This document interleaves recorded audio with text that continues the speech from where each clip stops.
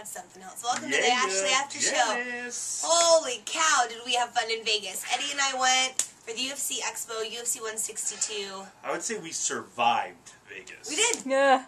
We wow. did. Because we did it good. Up. Not it was a it Up. wasn't like traditional Vegas trips Yeah. where you're partying in the clubs until you know like five in the morning and that kind of thing. Yeah. No, we were just rolling. Everything was rolling. It was all about the UFC and Yeah. fighting and all that stuff. So it was cool, man. Like when we landed in San Diego yesterday, I turned to Eddie and said, well, we can go ahead and check that off as a success. Seriously. Like, it couldn't have gone better. We realized we're a really good team.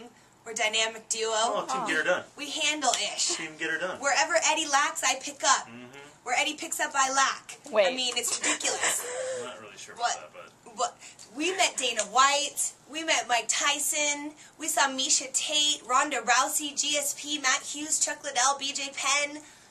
There. Jon Jones right there. What's up, Jon Jones? I said, I love you, Jon Jones. And he looked at me.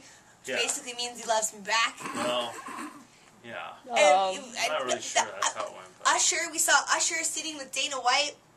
It was cool, man. It was legitimately like as a UFC fan. Yeah. I mean, it was as good as it gets. We interviewed just about everybody. The interview. Gilbert Melendez. We interviewed Stipe, who we then raged with after. Mm-hmm. When does that happen? Stipe bought us shots of like Kahlua tequila, which was delicious. Excellent. Was so good. We were both being such wimps. Like Yeah. Stipe, who just beat Big Country, if you know the UFC fighter Stipe, who was awesome. He was like pre- peer pressuring us, like we're the losers, Nice. and his whole entourage was peer pressuring us. Shots on us, shots on us. They're telling the waiter, Which- "Get these guys tequila." Let's, no, we were down with shots, but we didn't want to do tequila, Tequila. shots. Yeah. And they were like, "F you." I'm like, "Can you fireball, Yeah, lemon no. drop, maybe." I'm like Jaeger bomb. like we're the worst. I'm Like, like, can I get a purple hooter? Nice, Eddie. like No. both Your of us go-to. are like, He almost punched me. A UFC heavyweight almost yeah, punched he me. really did. We're like, we can't do tequila. We get. He's like, I, I get angry. I I'm got- I like, I puke. Like, we can't do tequila.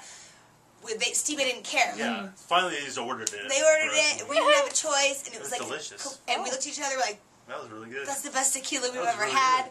Yeah. We don't even know. I mean, it was crazy. It's a blur. The weekend is a blur. And then the fights. Yeah, like the the, Anderson. Silva.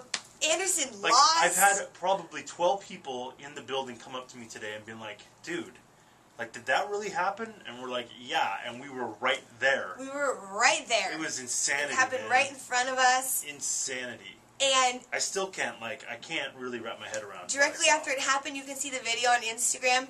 On actually, it was on my Instagram account, actually the show. But Eddie and I looked at each other. I couldn't talk. couldn't speak. It was like the craziest thing I've ever seen. Like we couldn't talk. We were speechless for Yeah. like an hour.